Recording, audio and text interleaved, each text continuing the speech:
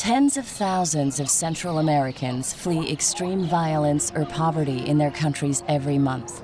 They head for the Mexican border, and many hope to continue to the U.S. On the dangerous route north through Mexico, there are hostels where asylum seekers and migrants can stay without fear of arrest or attacks by criminals. Just three days ago, Pedro and Diana arrived at a hostel in Ixtepec, Oaxaca State, in southern Mexico, after running for their lives from Honduras. Pues en Honduras yo era. In Honduras, I was a housewife. a mis hijos, tengo tres hijos. I took care of the children. Una de seis I have three. One is six years old, La otra de cuatro. another is four, and the other is three. tres. Llegó el momento en My husband, you could see that he had been successful, que él estaba that he had made money. Eh, a él, él recibió pues, He got seven gunshot wounds to his body.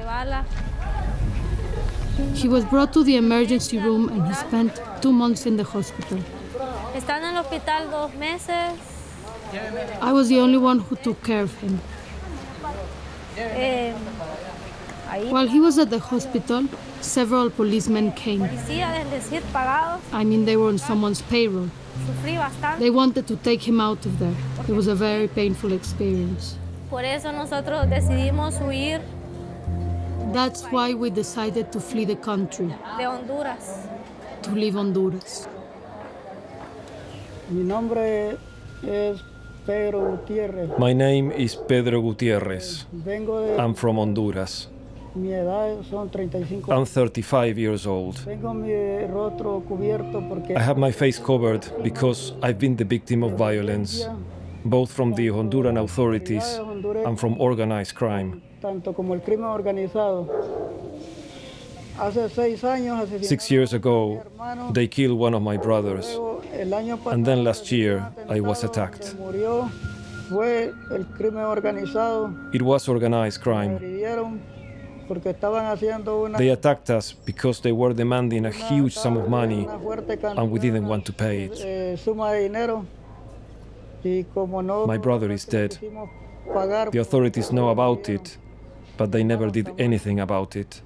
Las autoridades lo saben, pero ellos nunca pusieron, hicieron nada en el asunto.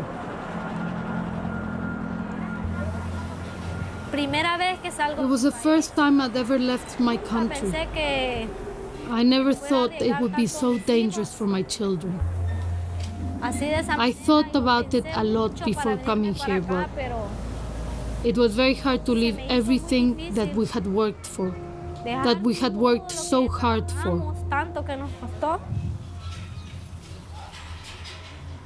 We came with nothing, without clothes, with nothing.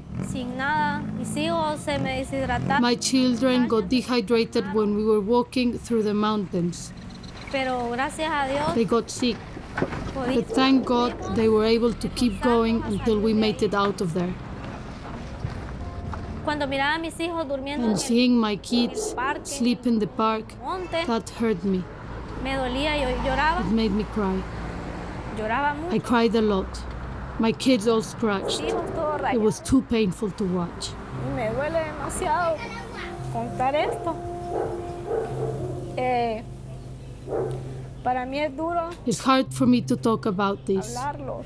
because what my kids and I have lo que yo he experienced vivido. Y mis hijos is just too hard. es demasiado duro.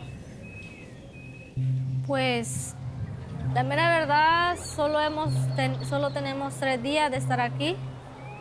Well, it's been three days since we arrived. Estamos We're esperando waiting to get a humanitarian visa so I can work without fear. humanitaria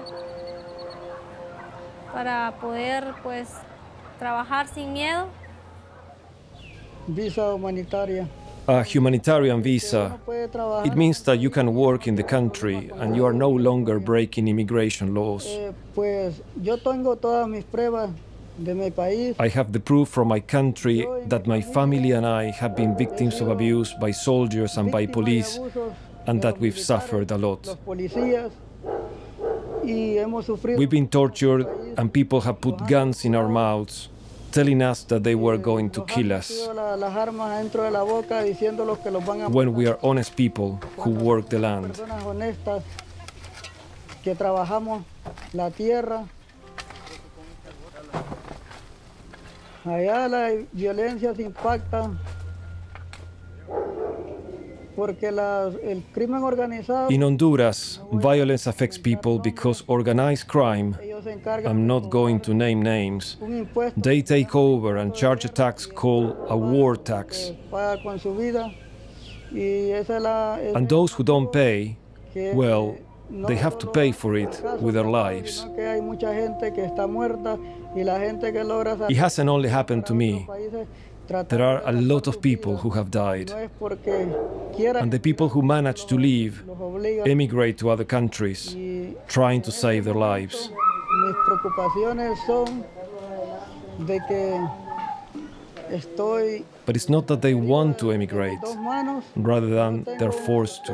para mis hijos Right now, my concerns are that both of my hands are injured and I can't provide for my kids.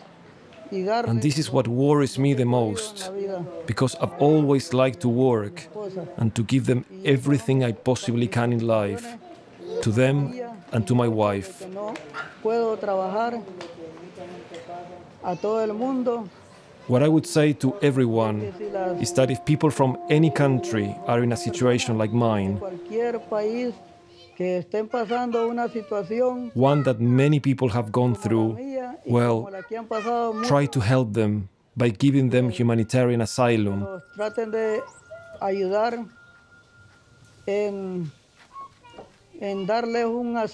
so that they can remake their lives in another country because we are all human beings. Todos somos seres humanos y We deserve an opportunity in life and we deserve a fighting chance to continue living. por seguir viviendo porque ya en nuestro eh, eh, en nuestro país y en nuestro Now, in our country and in our sister country, El Salvador, it's impossible to live. Pues, yo le the violence is really brutal.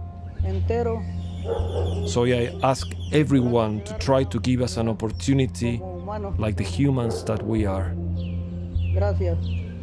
Thank you.